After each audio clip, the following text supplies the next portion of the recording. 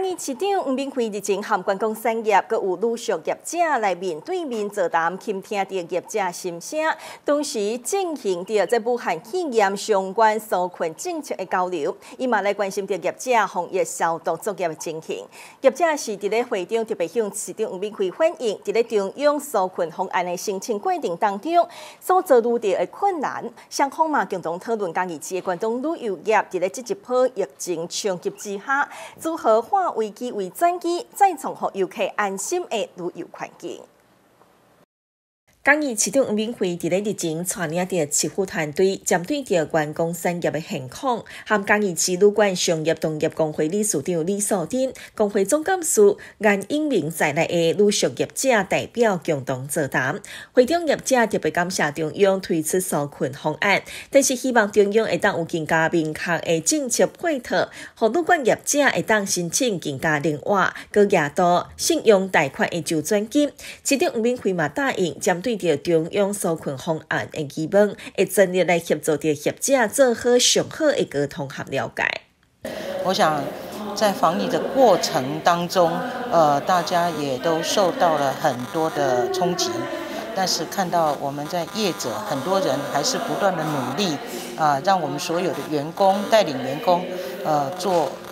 包括做我们自己的呃成长课程，甚至呢许多的消毒工作，这样的服务品质是令人感动的。可是，在疫情过程当中，我们需要大家一起努力，让这个疫情早日呃等到疫情过以后，我们能够再重新站起来，让我们的嘉义市的文化、嘉义市的观光是被大家所重视的，这是值得大家一来再来的地方。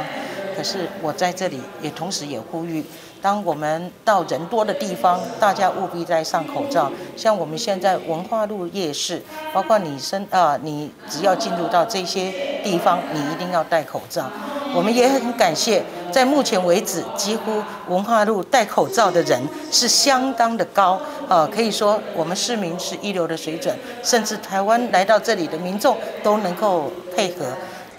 江义市政府观光新闻处强调，江义市目前有七十九间的旅馆业者，包括七十八间的饭店和一间的民宿。针对着交通部观光局的观光纾困方案，市府提供着参考咨询各项纾困问题，嘛将武汉肺炎纾困的懒人包刊登伫咧嘉义观光旅游网，欢迎嘉义市的饭店业者、旅馆业者，如果有任何疑问，拢会当来查询。最新新闻就定是王小山嘉义市采访报。的，疫情瞬息万变，我们要慎防社区的传染。防疫工作再升级，除了加强各项的防疫消毒工作，更需要您的配合。勇妈要提醒您，外出的时候记得携带口罩，去人多的地方更要戴上口罩。